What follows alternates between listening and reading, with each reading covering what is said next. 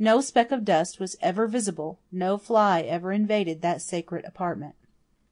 Aunt Olivia pulled up a blind, to let in what light could sift finely through the vine leaves, and sat down in a high backed old chair that had appertained to her great grandmother. She folded her hands in her lap, and looked at us with shy appeal in her blue gray eyes. Plainly she found it hard to tell us her secret, yet all the time there was an air of pride and exultation about her, somewhat also of a new dignity. Aunt Olivia could never be self assertive, but if it had been possible that would have been her time for it. "Have you ever heard me speak of Mr. Malcolm MacPherson?" asked Aunt Olivia.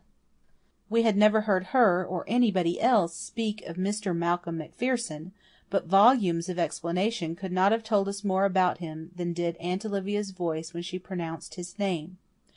We knew as if it had been proclaimed to us in trumpet tones that Mr. Malcolm MacPherson must be Aunt Olivia's beau, and the knowledge took away our breath. We even forgot to be curious, so astonished were we. And there sat Aunt Olivia, proud and shy and exulting and shamefaced, all at once.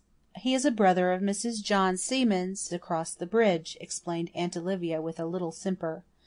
Of course you don't remember him. He went out to British Columbia twenty years ago.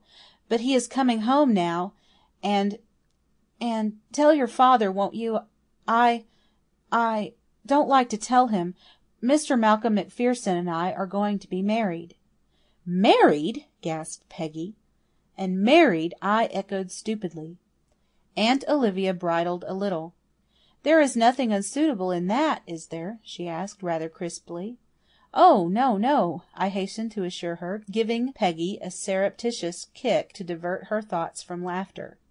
"Only you must realize, Aunt Olivia, that this is a very great surprise to us." "I thought it would be so," said Aunt Olivia complacently. "But your father will know. He will remember. I do hope he won't think me foolish. He did not think Mr. Malcolm MacPherson was a fit person for me to marry once. But that was long ago, when Mr. Malcolm MacPherson was very poor. He is in very comfortable circumstances now." "Tell us about it, Aunt Olivia," said Peggy. She did not look at me, which was my salvation.